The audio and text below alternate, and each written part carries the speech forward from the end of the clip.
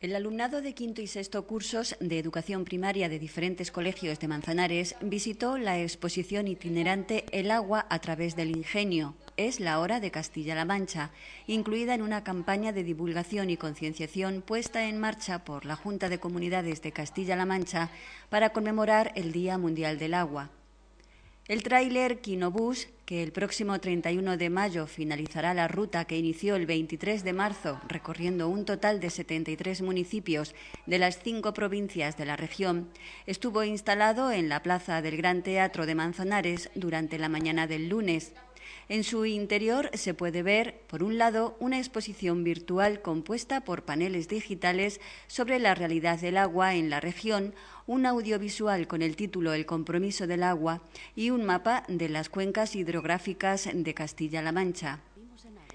Por otro lado, en la sala de proyección se emite un vídeo en tres dimensiones de alta definición relacionado con el agua con el título La hora de Castilla-La Mancha y otro con el título El compromiso del agua destinado al público de todas las edades.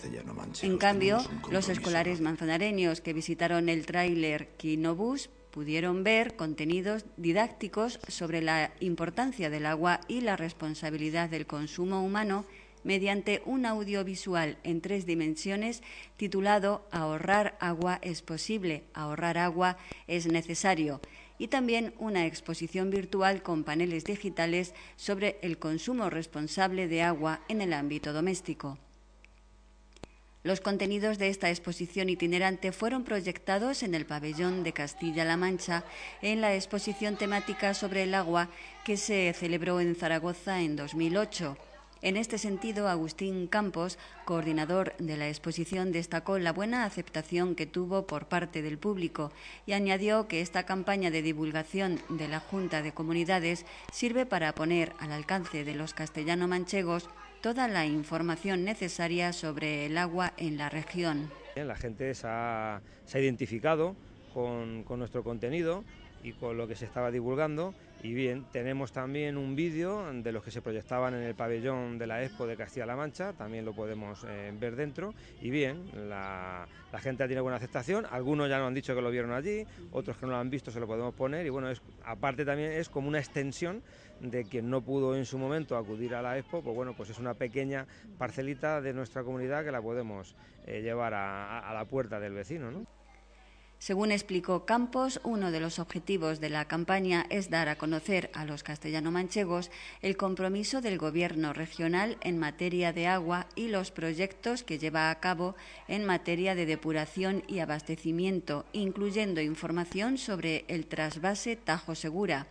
En este sentido, el técnico resaltó el carácter solidario de Castilla-La Mancha hacia otras comunidades, destacando también las consecuencias que ello conlleva para el desarrollo económico de la región. Actualmente con el trasvase de Tajo Segura se está trasvasando el 70% del agua que, recogemos en nuestra comunidad y nos quedamos para las cinco provincias con el 30%. Como consecuencia de ese trasvase de agua, eh, pues el 90% de la agricultura aquí en Castilla-La Mancha es de secano y tan solo el 10% es de regadío.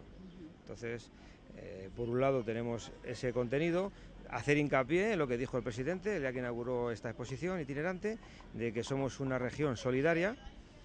porque compartimos nuestro agua y queremos seguir siéndolo, pero habrá que revisar eh, esa cantidad de agua que se trasvasa.